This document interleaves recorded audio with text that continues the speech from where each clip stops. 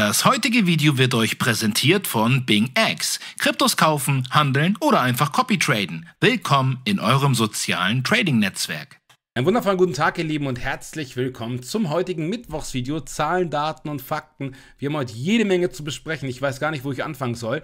Die ISO-Coins haben geil performt die letzten Stunden. Sehr, sehr schön. Endlich. Außerdem alle Augen auf die FED heute Abend. Heute gibt es wieder einmal eine Pressekonferenz, bei der der nächste Zinssatz bekannt gegeben wird. Und es wird natürlich gemunkelt. Wir gucken uns mal an, was der Großteil des Marktes gerade denkt und erwartet. Außerdem eine Analyse zu XRP. Ja, wie wird es jetzt weitergehen? War das vielleicht der Befreiungsschlag und jetzt geht es direkt auf 589? Ja, werden wir uns ansehen, nochmal ein bisschen Revue passieren lassen, was jetzt eigentlich bei ISO abgegangen ist, welche Projekte dazugehören und natürlich ein ausgiebiges Ripple XRP Update. Also ihr dürft euch heute auf eine etwas längere Ausgabe freuen. Macht euch mal eben einen Kaffee, lehnt euch zurück und los geht's nach dem Intro.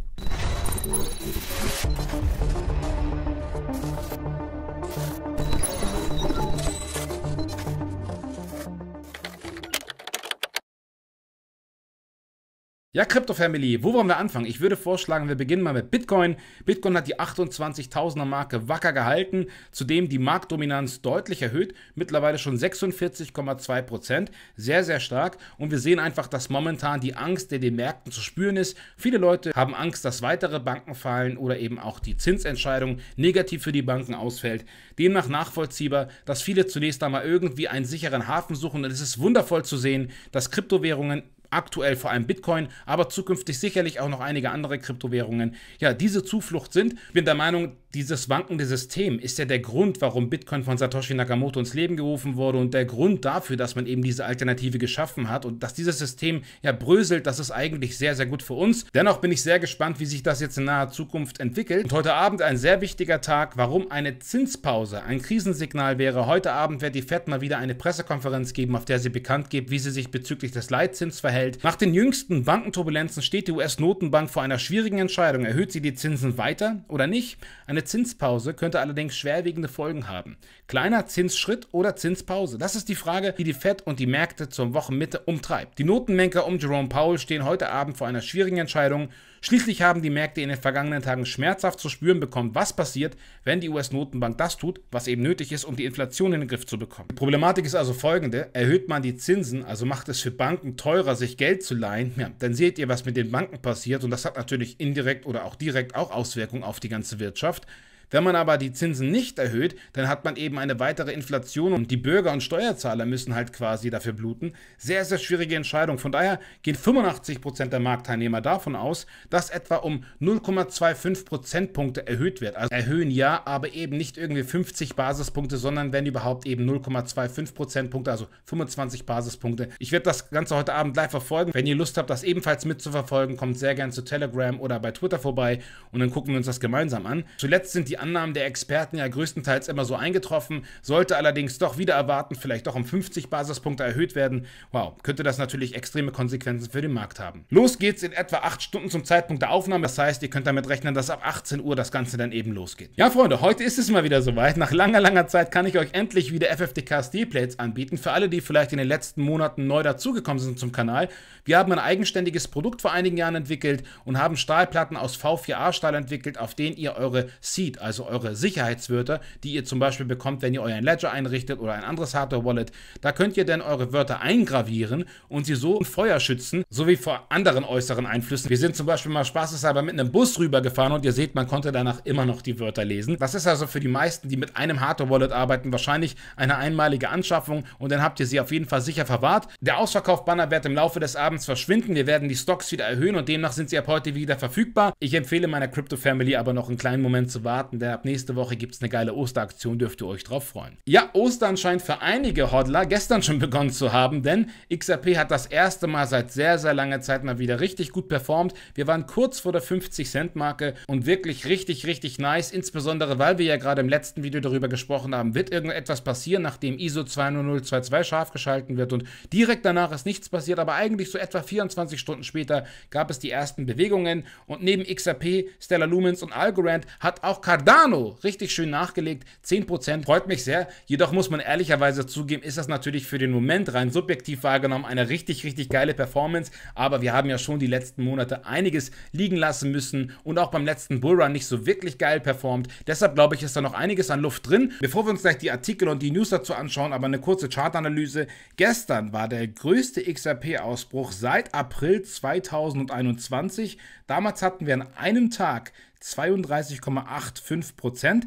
Und besonders ist auch, dass wir da nicht aufgehört haben, sondern dass es da nach etwas Seitwärtsbewegung auch noch weiter bergauf ging. Kann natürlich gerne nochmal so kommen. Dieses Mal hatten wir nicht ganz 32,8, sondern wir hatten nur 32,4 Prozent, aber nahezu identisch zu dem letzten großen Ausbruch. Und mich würde es natürlich ungemein freuen. Dennoch sollten wir die Kirche im Dorf lassen. Da sind wir ehrlich, wir haben schon sehr viel liegen lassen die letzten Monate, die letzten Jahre. Selbst im letzten Bullrun, wo Bitcoin doch ziemlich beflügelt war, ist bei XRP relativ wenig gelaufen. Ähm, von daher müssen wir uns mal anschauen, wie das Ganze am Ende ausgeht. Rein charttechnisch gibt es hier auch noch einige Dinge zu berücksichtigen. Zum einen war gestern Neumond, dementsprechend haben wir dort auch das Peak gesehen, würde also ganz gut reinpassen. Klar wissen wir auch, dass es manchmal noch einige Tage Karenz gibt und eventuell noch ein weiterer Peak kommt, aber es würde mich auch nicht wundern, wenn das jetzt vielleicht erst einmal ein größerer Move war und wir dann eventuell in eine Seitwärtsbewegung verfallen oder vielleicht sogar in die Korrektur. Warum? Wir sind zwar durch die 44 Cent Marke gekommen, das ist hier die gelbe Linie, die war sehr, sehr schwierig zu durchbrechen, falls ihr es gestern gesehen habt, aber wir sind direkt bei dem nächst höheren Widerstand erst einmal rejected worden. Das seht ihr anhand der grünen Linie. Das heißt etwa so bei 48 Cent. Dementsprechend müssen wir jetzt rein charttechnisch mal abwarten, wie es hier weitergeht. Zum Zeitpunkt der Aufnahme kurz vor 1 ist es also so, dass wir hier leicht runter sind unter der gelben Linie und wir müssen mal schauen, ob die 44 Cent Marke hält. Wenn ja und wir uns hier vielleicht so ein bisschen seitwärts stabilisieren, könnte es natürlich sein, dass wir noch einen weiteren Ausbruch erleben. Ansonsten sollten wir den Tag nicht vor dem Abend loben. Es kann natürlich auch sein, dass das hier nur ein kurzer Ausreißer, ein kurzer Test war. Dennoch muss ich zugeben, hat es sich sehr, sehr gut angefühlt, nach so langer Zeit des Winterschlafs mal wieder ja ein Lebenszeichen zu sehen von XRP. Und wenn es nach mir geht, darf es gern so weitergehen. Und Grundlagen dafür sind ja auch gegeben. So hat zum Beispiel jetzt Swift etwas rausgehauen, was ich sehr interessant fand. ISO 20022 Koexistenz beginnt und eröffnet neue Möglichkeiten für grenzüberschreitende Zahlungen. Koexistenz. Sehr interessantes Wort hier drin. Erst einmal der Standard für alle, die es vielleicht nicht mitbekommen haben, der Messaging-Standard der Banken wurde jetzt quasi umgestellt. Allerdings gibt es jetzt zwei Versionen, die genutzt werden können. Zum einen den alten MT-Standard, der wird auch noch weiterhin benutzt bis zum November 2025 und eben der neue MX-Standard. Also der MX-Standard läuft jetzt erstmal parallel und dann irgendwann wird eben alles umgemünzt nur noch auf diesen MX-Standard. Das Ganze wird aber wie gesagt noch dauern bis Ende 2025. Interessant Interessant war allerdings das hier. Wir freuen uns darauf, weiterhin mit der Zahlungsbranche zusammenzuarbeiten, um neue Möglichkeiten zu erschließen, während die Institutionen die ISO 20022 vollständig übernehmen und von ihren reichhaltigen strukturierten Daten profitieren. Für alle ganz kurz zusammengefasst, der neue Standard sorgt vor allem dafür, dass es deutlich mehr Daten gibt in jedem Datensatz, in jeder Transaktion und das ist natürlich sehr vorteilhaft für die Banken. Da Sie von Koexistenz sprechen, kann ich mir gut vorstellen, dass da einige Partner interessant sind für Sie und wer weiß, vielleicht gibt es ja am Ende gar keinen tödlichen Kampf zwischen Swift und Ripple, sondern vielleicht kann man ja irgendwie auch koexistieren. Ich habe einen interessanten Artikel mit einer Liste von ISO 20022 konformen Kryptowährungen entdeckt und da habe ich auch ADA drin gefunden. Also Cardano wird ja auch aufgeführt und das würde natürlich auch Sinn machen, warum Cardano ADA auch ein bisschen performen konnte. Allerdings muss man ganz klar sagen, diese Konformität kann wahrscheinlich nahezu jedes Kryptoprojekt, im Prinzip ist es ja nichts anderes, als quasi eine Schnittstelle zu bilden, dass man auch diesen Messaging-Standard akzeptiert. Ja, und das kann wahrscheinlich früher oder später jede Kryptowährung, die zumindest mit Zahlungen arbeitet. Aber interessant ist dafür eher für mich zumindest Ripple und Stellar Lumens, weil die beiden den sogenannten Standard Body bilden, was natürlich nochmal ein anderes Paar Schuhe ist. Wer mir ein bisschen zu kurz kommt, aber eigentlich eine extrem wichtige Rolle spielt, ist Xinfin bzw. XDC. Die seht ihr hier in dieser Map und äh, die sind ursprünglich mal aus Quorum entstanden, also aus einem Fork von Quorum und wurden dann erstmal auf der Ethereum Blockchain als ERC20 Token implementiert und irgendwann gab es dann mal das Mainnet und daraus hervor geht jetzt der XDC Token. Dieser XDC Token ist direkt verbunden mit Corda und Corda wiederum, wie ihr schon seht, ist das Herzstück von ISO 20022 entstanden aus einem riesigen Konsortium von über 350 Mitgliedern, die gemeinsam R3 bilden. Das heißt, wir haben hier also eine sehr, sehr wichtige Plattform, ein Netzwerk, das alles miteinander verbindet und das auf Basis von XDC läuft. Also von daher glaube ich, ist ziemlich großes Potenzial da, zumindest zu Beginn. Die werden vielleicht auch noch weitere Projekte mit einbinden, aber aktuell zumindest, das ist jetzt ein Artikel aus 2020, also schon veraltet, aber trotzdem interessant ähm, wird XDC verwendet von Corda. Und das ist meiner Meinung nach auf jeden Fall ein Ding, das man sich mal anschauen sollte, zumal sie auch auf anderen Maps immer wieder auftauchen und ihr seht neben den Projekten, die wir gerade angesprochen haben, auch noch viele weitere. Algorand zum Beispiel in den letzten Stunden ja auch ein bisschen was gut gemacht. Und auf einige andere Projekte warten wir halt noch. Quant zum Beispiel momentan noch relativ verhalten, Constellation und IOTA ebenfalls und auch HBAR hat jetzt noch nicht so wirklich reagiert. Aber wir sehen hier auf jeden Fall, wie das neue Netzwerk miteinander verbunden sein könnte. Und das kann dann natürlich unabhängig von XRP und XLM für viele andere, wahrscheinlich auch für Ethereum und auch für viele Firmen wie meinetwegen IBM, Consensus, JP Morgan und so weiter, viele, viele Vorteile mit sich bringen und ganz neue Geschäftsfelder. Und wir sind ja jetzt gerade ganz am Anfang. Jetzt wird das Ganze erstmal scharf geschalten, dann gibt es eine Implementierungsphase und es gilt eben abzuwarten. Wir hatten heute auch eine interessante Unterhaltung im Crypto Talk. Da ging es unter anderem darum, dass Bitcoin verhältnismäßig nachhaltig performt. Also wenn man da mal zurückblickt, hat er sich eigentlich über die vier Jahreszyklen hinweg immer besser entwickelt und da gebe ich euch hundertprozentig recht. Allerdings bin ich der festen Überzeugung, dass die wahrhaftige Entfaltung der wahren Potenziale erst dann kommt, wenn wir einen sogenannten Utility Bullrun erleben. Also einen Bullrun, bei dem wirklich Anwendungen und quasi Lösungen für die Realwelt eingesetzt werden. Und dann wird sich zeigen, welches Projekt wirklich viel Nachfrage hat, welches Projekt besonders viel genutzt wird. Und dann wird sich meiner Meinung nach auch entscheiden, welche Projekte sich rein kurstechnisch richtig geil entwickeln werden und welche eben nicht. Aktuell sehe ich zum Beispiel Ethereum mit der größten Utility, die wir jetzt aktuell erleben, denn ich glaube, es gibt keine Plattform, die so viele Entwickler hat, so viele Dapps, die darauf laufen und viele Menschen, die bereits auf Basis von Ethereum ihr tägliches Geschäft abwickeln, ihre Firmen aufgebaut haben und alles. Also da hat sich schon eine richtige Ökonomie entwickelt und dementsprechend gibt es natürlich auch immer wieder Nachfrage nach Gas, also nach Ether. Man braucht halt Ether, ob man das Projekt nun mag oder nicht. Wenn man darauf arbeiten will als Firma, wenn man damit hantieren möchte, muss man halt auch die Gebühr bezahlen und je größer die Nachfrage nach den Anwendungen ist, desto besser für das Projekt, dann wird es langfristig einfach stabiler. Und wir sehen ja, wie die hier vernetzt sind, also kann ich mir gut vorstellen, dass da auch Potenzial ist, was die Nachfrage betrifft. Kommen wir zum Ripple XRP Update und das hat es heute wirklich in sich. Wir beginnen vielleicht mal mit diesem Artikel hier. In seinem Rechtsstreit mit der SEC hat Ripple Labs gestern einen sogenannten Letter of Supplemental Authority eingereicht, um seine Fair Notice Verteidigung weiter zu stärken. Wie Rechtsexperten bereits vermutet hatten, bezieht sich das Schreiben auf die Entscheidung von einem Richter namens Michael Wiles, der sich auch um den Voyager-Konkursfall kümmert. Darin wies Richter Wiles die Forderung der SEC mit überraschend deutlichen Worten zurück. Ein weiteres Argument zugunsten von Ripple. Wie das Anwaltsteam von Ripple in seinem Schreiben an Richterin Torres feststellte, hat ihr Kollege aus demselben Gerichtsbezirk, Richter Wiles, am 11. März 2023 eine Entscheidung getroffen, die die Verteidigung von Ripple XRP weiter unterstützt. Die SEC erhob Einwände gegen den Plan von Binance US Voyager zu erwerben mit der Begründung, dass der Voyager Token VGX Aspekte eines Wertpapiers aufweist, kennen wir doch irgendwo her, ohne zu spezifizieren, welches diese Aspekte nun wirklich waren. Und gleichzeitig hat die SEC auch beanstandet, dass Binance US eine nicht registrierte Wertpapierbörse sei, ohne zu erklären, warum sie diese Ansicht eigentlich vertrat.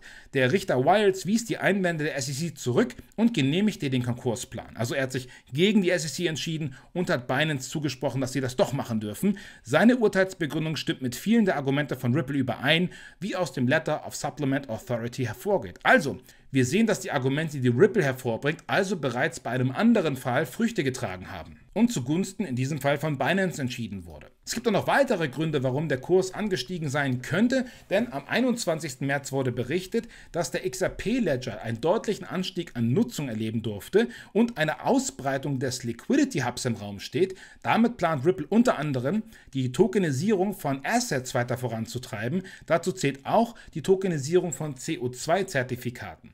Abgesehen von diesem technologischen Update gibt es eben auch Erfolg im Rechtsstreit. So sagte Johnny Deaton in einem kürzlich erschienenen Tweet, dass er fest davon ausgehe, dass die zuständige Richterin Annalisa Torres zugunsten von Ripple urteilen werde. Grund dafür sei die Kritik des US-Richters Michael E. Wiles am grundsätzlich fehlerhaften Vorgehen der SEC bei der Behandlung von Kryptowährungen. Also es scheint fast so, dass der Richter jetzt vielleicht nicht unbedingt pro Ripple ist, aber zumindest erstmal anti-SEC und damit hat Gary auch schon mal einige Probleme. Ja, ich weiß jetzt nicht, inwieweit sich die Richterin da beeinflussen lässt oder inwieweit sie dem Rechtsspruch von Wilds Folge leistet, aber es wirkt auf jeden Fall so, als würden die Zeichen ganz gut stehen. Es soll bis zum 31.03. diesen Monats ein summarisches Urteil gefällt werden, wenn denn eins gefällt werden kann von der Richterin. Vielleicht wird auch wieder alles verlängert, man weiß es nicht genau. Wovon man aber ausgehen darf, und da wird auch gerade gemunkelt, ist, dass es jetzt sehr, sehr zeitnah einen Entscheid gibt und ob der nun Ende März oder vielleicht auch erst im April kommt oder vielleicht auch erst die Wochen danach. Aber ich denke mal, wir können mit dem zweiten Quartal rechnen und auch die XRP-Wale scheinen mit einem positiven Ausgang des Rechtsstreits zu rechnen, denn die Zahl der XRP-Wale ist gestiegen. Großinvestoren horten 420 Millionen Token, wie Daten zeigen. Die größten Investoren erwarten vermutlich einen günstigen Ausgang des Rechtsstreits zwischen Ripple und der SEC und die On-Chain-Metriken von Sentiment zeigen 50 neue Wahladressen im XRP-Ledger, die 10 bis 100 Millionen XRP halten. Und ein weiteres spannendes Thema, Johnny Deaton geht davon aus, dass die Wahrscheinlichkeit, dass die Dokumente von der Hinman-Rede mit 75%iger Wahrscheinlichkeit veröffentlicht werden und der Öffentlichkeit eben zugänglich gemacht werden. Das kann natürlich negative Auswirkungen für die SEC und vor allem für Hinman haben, wenn herauskommt, dass er irgendwie käuflich war oder sich in irgendeiner Form hat breitschlagen lassen. Aber das kann natürlich auch indirekt oder auch direkt negative Auswirkungen für Ethereum haben. Nun können die natürlich nichts dafür, wenn Hinman sagt, was er sagt. Aber es kann natürlich sein, dass Gary, der sowieso davon ausgeht, dass alles außer Bitcoin ein Security ist, dass er dann vielleicht doch nochmal beide Augen öffnen muss, ja, weil die Öffentlichkeit danach ruft und er eben auch nochmal Ethereum unter die Lupe nehmen muss bezüglich Security-Vorwürfen. Es bleibt auf jeden Fall sehr, sehr spannend. Und das letzte für heute und das spannendste meiner Meinung nach ist der gestern erschienene Post von David Schwartz um 11.22 Uhr. Es scheint so, als würde der Lichtschalter in meiner Garage nichts tun. Ich bin aus Versehen dagegen gekommen, wusste nicht genau, was jetzt passiert und habe ihn eine Stunde später wieder umgeschaltet. Seltsam, einen Lichtschalter zu haben, der überhaupt nichts tut. Natürlich erzählt David Schwartz uns hier nichts von seinen Garagenerlebnissen, sondern das wird eine Anspielung sein an Flip of the Switch. Die XRP-Community weiß, was ich meine. Es gibt ja das Narrativ, dass irgendwann quasi der Schalter umgelegt wird und ab dann XRP und wahrscheinlich auch andere ISO-Coins Vollgas geben und nur noch eine Richtung kennen, und zwar Richtung Norden und alles quasi ab einem gewissen Augenblick ausgelöst wird. Und ob er uns das hier nun unterhaltungstechnisch nur nahe bringt oder ob er uns damit sagen will, dass gestern oder sowas umgelegt wurde, da dürft ihr jetzt sehr gerne mal urteilen. Ich kann Darren auf jeden Fall bestätigen, bestätigen. Ich gehe davon aus, dass es wirklich der beste Tweet des Jahres war. Und er hat auch selbst darauf reagiert. Und da stand da unten so ein Meme. Ich weiß nicht mehr genau, was da abgebildet wäre. Er hat scheinbar gelöscht. Das bin ich, während ich mal wieder darauf warte, dass mein Anwalt mich anruft und mir sagt, dass ich den Tweet löschen soll. Also scheinbar gab es in der Vergangenheit schon einige Male, wo David irgendwas löschen musste, weil sein Anwalt ihm das geraten hat. Wer weiß, ob er wirklich ein Riddler ist oder einfach nur unterhaltsam sein will. Das soll es für heute gewesen sein mit dem Update. Ich freue mich, euch heute Abend begrüßen zu dürfen bei Telegram oder bei Twitter. Da werden wir uns mal gemeinsam das Thema hier anschauen, mal gucken, wie die Notenbank entscheiden wird und vor allem, wie die Märkte darauf reagieren. Ich werde jetzt mal die Stocks erhöhen, also falls ihr Lust habt, schaut gerne heute schon im Shop vorbei. Ansonsten, wie gesagt, eine geile Osteraktion, die ich euch nächste Woche präsentieren werde. Ja, vielen Dank für eure Aufmerksamkeit. Ich wünsche euch jetzt einen wundervollen, stressarmen Tag und bleibt mir gesund, ihr Lieben. Bis bald. Ciao!